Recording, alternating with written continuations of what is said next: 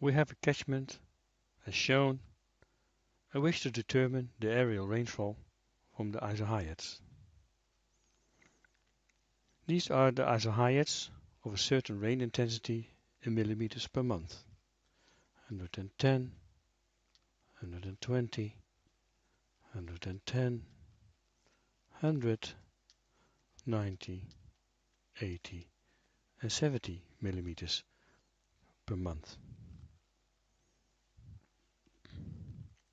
The corresponding intervals and interval middle are the first area 110 to 120, the next one 120 to 110, 110 to 100, 100 to 90, 90 to 80,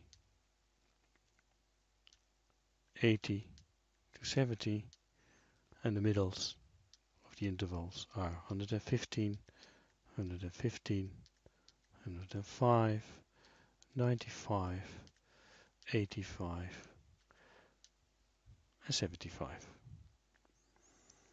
Now you have to determine for each interval between the two isohyets the aerial surface within the catchment area. We do that for the first interval of 110 between 110 and 120. This would be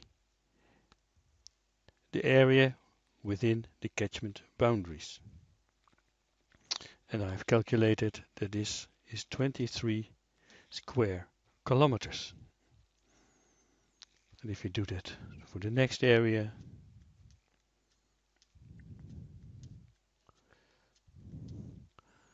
It is 51 square kilometers.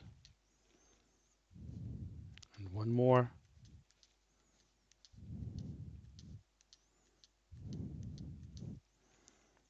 Hundred and four. And for the others, it is 88, 80, and 26 square kilometers with, with a total of 372 square kilometers.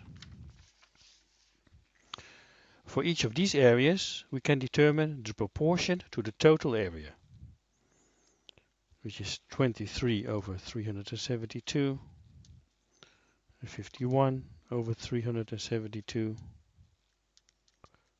etc.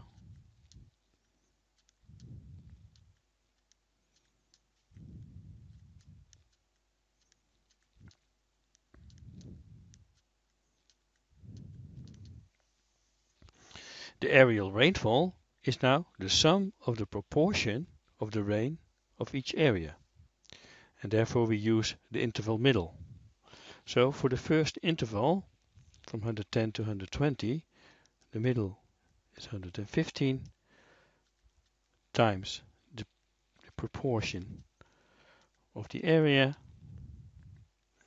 plus for the next interval with also a middle of 115 times 51 over 372 and for the next area interval middle 105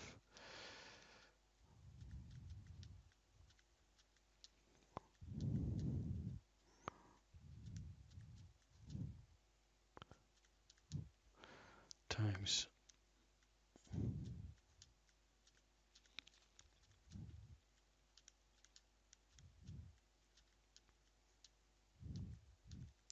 and for the last interval 75 is the interval middle times the proportion of the area adding these values up and do some calculations gives areal rainfall of 98 millimeters per month.